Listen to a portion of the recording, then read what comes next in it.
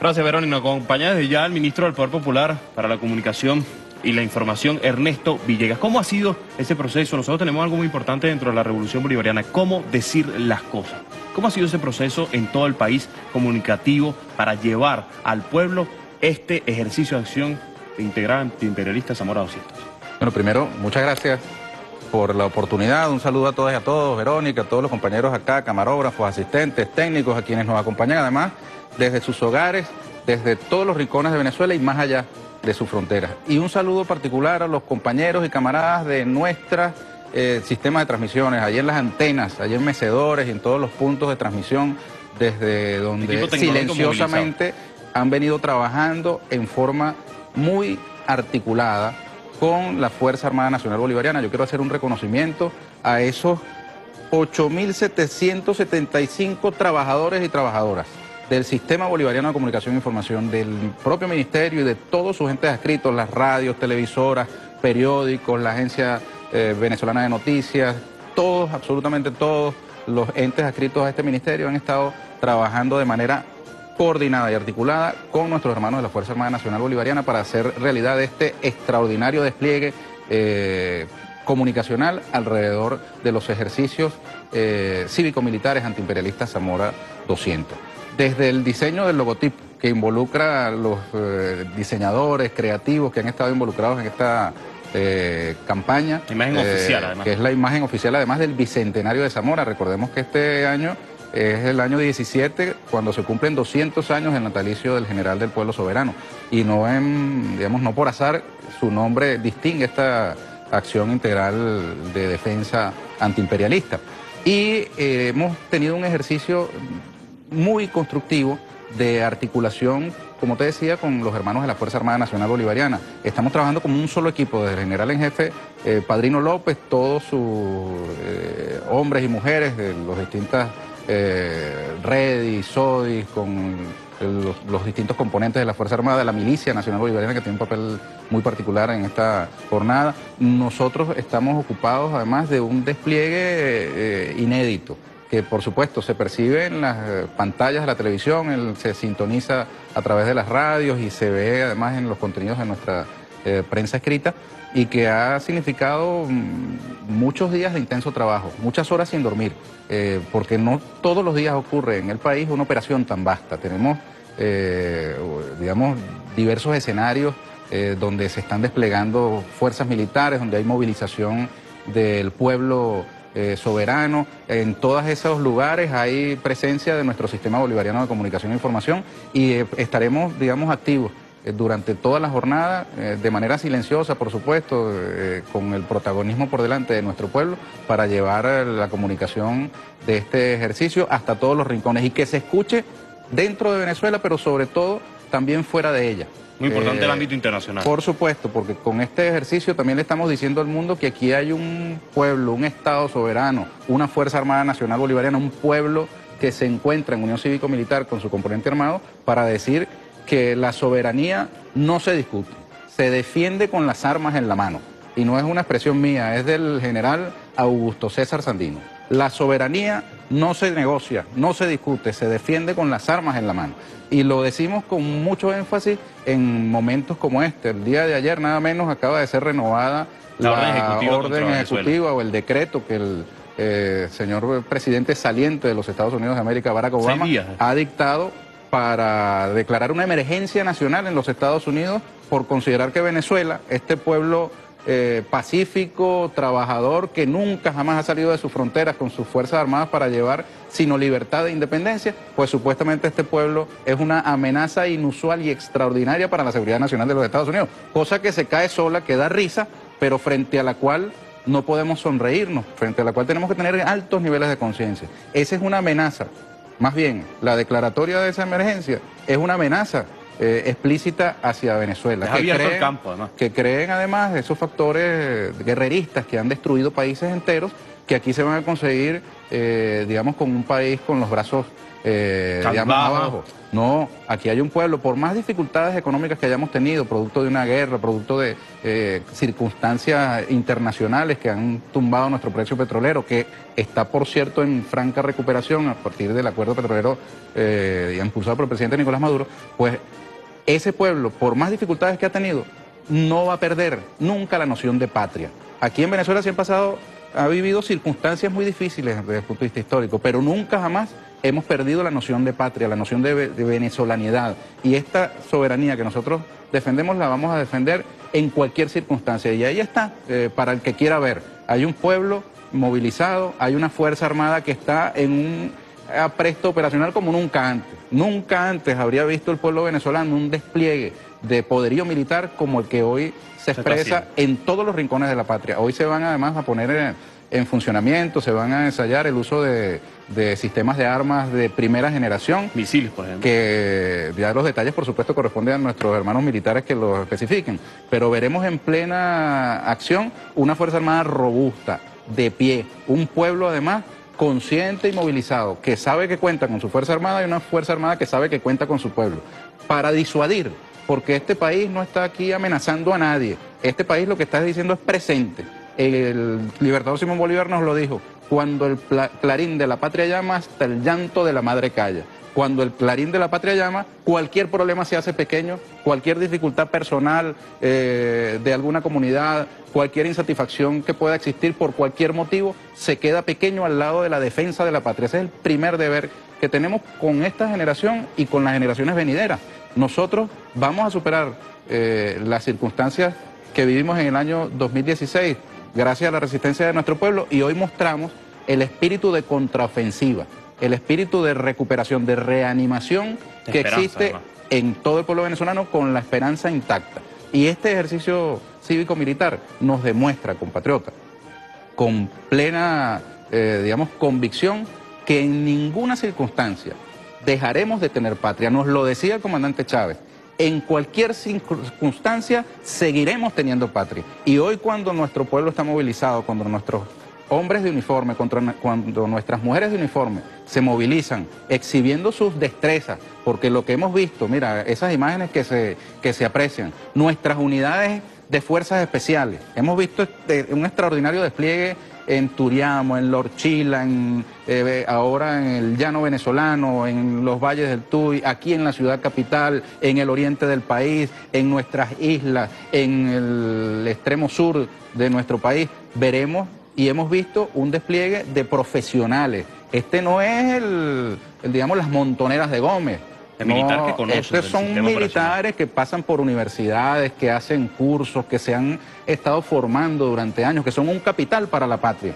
Eh, nosotros vemos en un oficial venezolano años y años de inversión económica del Estado para formarle y de él como hombre, como mujer, para darse las destrezas necesarias para conducir operaciones en tiempo de paz y operaciones en tiempo de guerra. manejar un equipo internacional. Por supuesto, esta tecnología que estamos viendo el día de hoy desplegada no sería nada sin los hombres y mujeres que, están detrás de ella, que se han entrenado. Y los hombres y mujeres de nuestro pueblo no serían lo que son si no tuvieran altos niveles de, conciencia. Hoy en día la conciencia acerca de la necesidad de la unión cívico-militar para los tiempos de paz y para los tiempos donde esta no exista está más clara que nunca.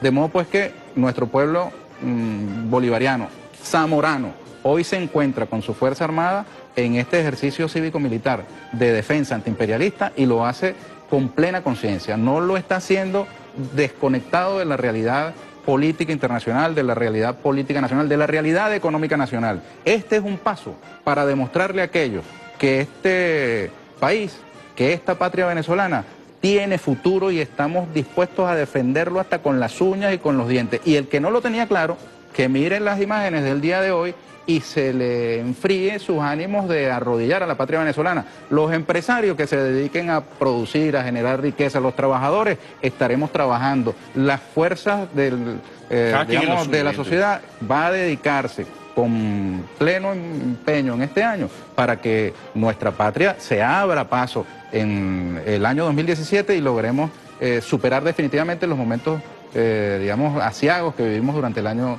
2016. Este aporte de la Fuerza Armada Nacional Bolivariana y del pueblo venezolano se verá reflejado en el devenir de este año 2017, eh, que tiene que pasar además por la estabilidad política, social y económica del país. Este paso que nos demuestra que aquí hay una Fuerza Armada dispuesta a defender a la patria con el apoyo de nuestro pueblo y un pueblo dispuesto a defender a la patria con el apoyo de su Fuerza Armada, son un paso hacia la estabilidad que todos ansiamos. Nosotros necesitamos una patria que trabaje, que prospere, que eche para adelante. Y eso lo estamos haciendo, eh, digamos, en forma denodada todos los días. Y hoy nos encontramos en la calle con este ejercicio para decirle al mundo entero que aquí hay patria, que seguirá habiendo patria y que Venezuela tiene el futuro asegurado. No se equivoque nadie. Aquí se medio asoma cualquier fuerza imperial que pretenda arrodillar a la patria de Bolívar y no se va a conseguir con las montoneras de Gómez, se va a conseguir con una Fuerza Armada Nacional Bolivariana de pie, profesionalizada, en plena sintonía con su pueblo, para la defensa de su derecho a la independencia y a la soberanía. Este es un país independiente. Aquí hay un Estado pleno ejercicio de sus facultades en el campo militar, en el campo científico, en el campo eh, institucional de toda índole y hoy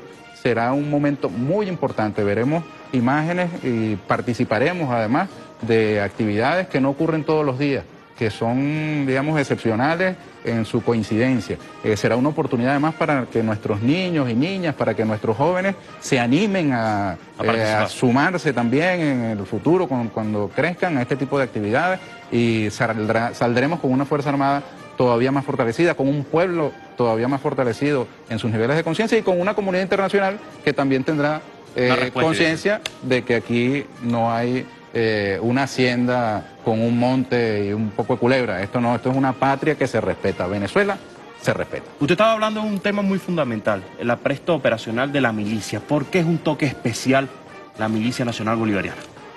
Bueno, en general de la Fuerza Armada Nacional Bolivariana. Ahora los hermanos militares que van a participar en este espacio te podrán dar más detalles, pero eh, esta complejidad de, los ejercicios que se han venido desarrollando no se podrían hacer con una Fuerza Armada disminuida, con una Fuerza Armada como la que llegamos a tener. Eh, yo recuerdo aquí en los tiempos de Lucinchi que aquí había, eh, digamos, eh, pólvora vieja que no eh, encendía, municiones que no, que no funcionaban, eh, unidades de transporte militar que no se movían. hay además, hermano, te quiero destacar esto, una demostración del empeño de nuestros hombres y mujeres de la Fuerza Armada por la independencia tecnológica. El vuelo de nuestros de nuestros sistemas aéreos. eso ha sido la derrota del bloqueo que por vía de hecho el gobierno de los Estados Unidos ha eh, tendido contra nuestra Fuerza Armada, particularmente contra su aviación militar, contra las unidades F-16. Eh, como sabemos, ha habido eh, restricciones para el suministro de repuestos, para el acceso a tecnología, y nuestros ingenieros e ingenieras se han puesto los patines y con sus conocimientos han permitido que estas unidades estén en pleno funcionamiento. De modo pues que eh, el apresto operacional, ellos lo explicarán mucho mejor que yo, pero está eh, muy superior, infinitamente superior a aquellas Fuerzas Armadas divididas. recordemos que en los tiempos de la Cuarta República eh, se hablaba de las Fuerzas Armadas. Hoy día tenemos una Fuerza Armada Nacional bolivariana por cierto que hay algunos que le quitan la B de bolivariana porque pareciera que les molesta mucho el apellido bolivariano, pero estas son unas Fuerzas Armadas herederas del Ejército Libertador de Bolívar, que tiene su conciencia bolivariana intacta, que tiene una vocación latinoamericanista y antiimperialista y por eso son bolivarianas, además que lo consagra la ley.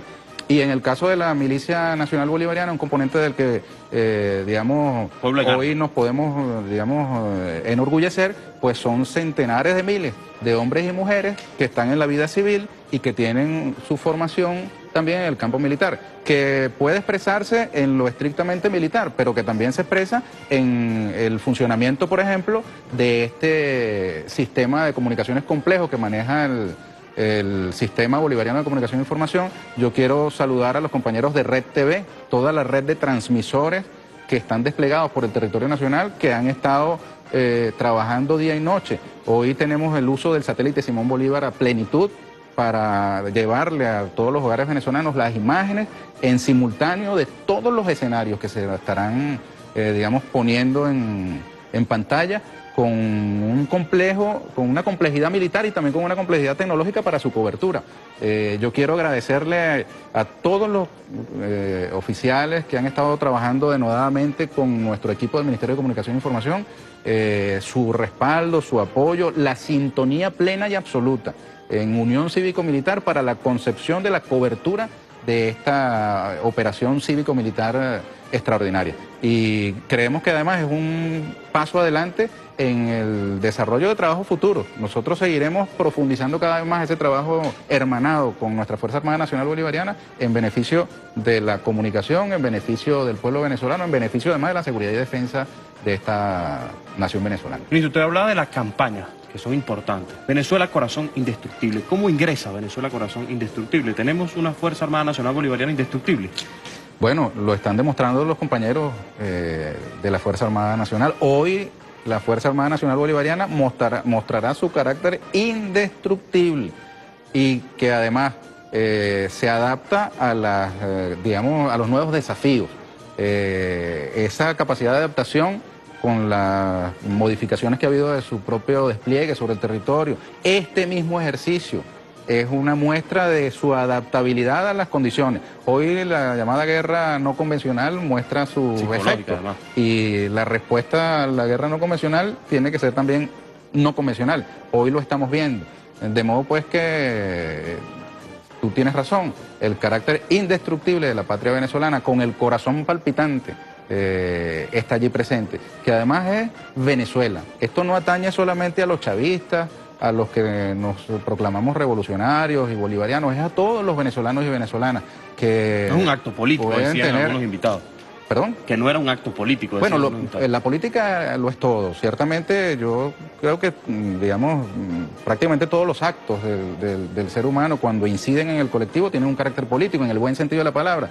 No es un acto politiquero, ciertamente. Si es un acto político en el sentido de que eh, cualquier fuerza em, poderosa en el mundo debe entender que en Venezuela hay una patria indestructible, que no la van a lograr debilitar por ninguna circunstancia adversa que le puedan sembrar en el camino. Nosotros hoy podemos enorgullecernos de contar con esa Fuerza Armada que no permitirá, junto a nuestro pueblo, que se le pretenda arrodillar. El sacrificio de Bolívar, de toda una legión de patriotas que nos legó la independencia, estamos obligados nosotros a defenderlo en cualquier circunstancia. Y escenario. Y en cualquier escenario. Y ahí está. Eh, eso nos permitirá a todos amanecer el día de mañana más tranquilos, más confiados, mucho más esperanzados, mucho más convencidos de que el único camino posible para este país es el de la prosperidad, el del desarrollo, el de la justicia, el de la, igualdad. Y añado yo, yo el del socialismo bolivariano, que ha permitido que tengamos una Fuerza Armada hoy en condiciones infinitamente superiores a las que teníamos antes, cuando hay que decirlo con todas las letras, estaba siendo sometido a un proceso de desmantelamiento, producto de la decisión en, los centros de poderes imperiales, de que nuestros militares se convirtieran en simples policías dedicadas a labores policiales para proteger los intereses del capital en esta parte del mundo. Y no, hoy tenemos una Fuerza Armada que se ha reencontrado con sus raíces bolivarianas y que se ha encontrado además con un pueblo eh, sumamente consciente, con las banderas de Chávez, de Bolívar, de Zamora, que nos dice eh, desde siempre que la patria soberana encontrará siempre a su pueblo eh, de pie, con el pecho henchido y con la conciencia intacta. Ministro, hace pocos minutos el presidente de la República Bolivariana de Venezuela, Nicolás Maduro, se expresó a través de su cuenta en Twitter. Vamos a leer ese mensaje, pero de manos de Verónica. Adelante. Así es, un día importante, el ejercicio de acción integral antiimperialista Zamora 200. Pero como tú lo dices, Julio, también es un día importante para los devotos católicos y cristianos de nuestro país y por ende el primer el presidente Nicolás Maduro Moros a través de su cuenta en Twitter, lo vamos a colocar de inmediato en pantalla, se expresó en su cuenta arroba Nicolás Maduro, desde mi espíritu cristiano junto a nuestro pueblo me uno en oración para pedir a la Divina Pastora por la paz y la unión de la patria. Hoy celebrándose la procesión número 160 41 de eh, la Divina Pastora y además, por supuesto, todos los que están eh, el día de hoy en Lara expresando su amor cristiano su amor católico a esta gran Virgen, la Divina Pastora. Esto en el marco un día importante, un día histórico para nuestro país, para los católicos desde el punto de vista de la devoción cristiana, pero por supuesto para todo el pueblo venezolano en esta unión cívico-militar. La etiqueta, para que ustedes sigan posicionándonos a través de la cuenta en Twitter, la tenemos eh, colocada en pantalla, es hora de defender la patria. Por ahí puede seguir interactuando, nosotros vamos a colocar acá en nuestras pantallas justamente lo que ha sido la interacción, no solamente del pueblo venezolano, sino también de quienes hacen posible en eh, la Fuerza Armada Nacional Bolivariana la realización de esta actividad. Vamos a leer de inmediato eh, un mensaje transmitido por Vladimir Padrino López en su cuenta en Twitter, con la protección de nuestra divina pastora, con fe infinita en la paz y en el porvenir de Venezuela, Fuerza Armada Nacional Bolivariana y pueblo defienden la patria con una hermosa fotografía de la Divina Pastora y nuestro gran tricolor venezolano. Un día importante para la reflexión, para pensar, pero también para el accionar de la ejecución de acciones tan importantes como las que se están realizando el día de hoy a lo largo y ancho de todo nuestro país y además toda la herramienta y la plataforma comunicacional que se ha desarrollado para que el pueblo venezolano pueda apreciarlo a través de la pantalla de Venezolana de Televisión y del Sistema Bolivariano de Comunicación e Información, Julio. Gracias, Verónica. Continuamos con el ministro Ernesto Villegas. ¿Cuál es el mensaje concreto, directo, que envía este ejercicio a las fuerzas imperiales y además esta guerra psicológica y mediática que nos tienen en países hasta latinoamericanos? Bueno, concretico, no podrán con Venezuela. Señor Obama, que acaba de firmar ese decreto, esa orden ejecutiva renovando un año más su emergencia nacional en los Estados Unidos, dedíquese a otra cosa. Ya sesión con Venezuela no tiene ningún sentido. Y si eh, alguien en el mundo tenía alguna duda de que en Venezuela existe un Estado plenamente constituido en ejercicio pleno de sus eh, competencias, de sus atribuciones, con su Fuerza Armada, que es un componente además eh, indispensable para la defensa de la soberanía, ahí está. No podrán con Venezuela. Te digo también, Julio, que te queremos mm, invitar a todo nuestro pueblo a que se incorporen las distintas movilizaciones, a todo el movimiento de la comunicación popular, a los muralistas, tuiteros, integrantes de medios alternativos y comunitarios, a los comunicadores de todas las eh, ramas eh, o plataformas a que se incorporen. Nosotros desde el Ministerio de Comunicación e Información estamos plenamente incorporados, trabajando en armonía plena, en sintonía absoluta y queremos que este ejercicio además sea disfrutado, disfrutado por la participación eh, de nuestro pueblo en estas actividades que nos recuerdan, nos reencuentran con nuestra propia historia y además nos acercan a un futuro, a un futuro de paz, de progreso, de inclusión, de desarrollo, de igualdad, de justicia. Quiero además eh, enviarle un saludo especial a la gente del Estado Lara. allá la Divina Pastora estará desarrollándose nuestra eh, procesión anual está nuestra Fuerza Armada brindándole protección a, este, eh, a, esta, a esta actividad que concurre mucha gente anualmente y estará además eh, digamos, en nuestro corazón durante toda esta jornada, invocando su protección para que todo salga como ha sido planificado, todo extraordinariamente bien. Y como te decía, mañana nos levantaremos con mucho más eh, vigor, con mucho más entusiasmo, sabiendo que contamos con una Fuerza Armada y un pueblo completamente en sintonía para la defensa de la patria. El mensaje anual del presidente Nicolás Maduro ante el Tribunal Supremo de Justicia. Bueno, mañana estaremos allí acompañándole. Nuestro pueblo está invitado también, el pueblo de Caracas, de todas las parroquias caraqueñas, a acompañar a nuestro presidente allí en las inmediaciones del Tribunal Supremo de Justicia. Bueno, muchas gracias, ministro, por haber venido. Seguimos en este operativo y inmediato vamos nuevamente con Verónica. Adelante, Verónica.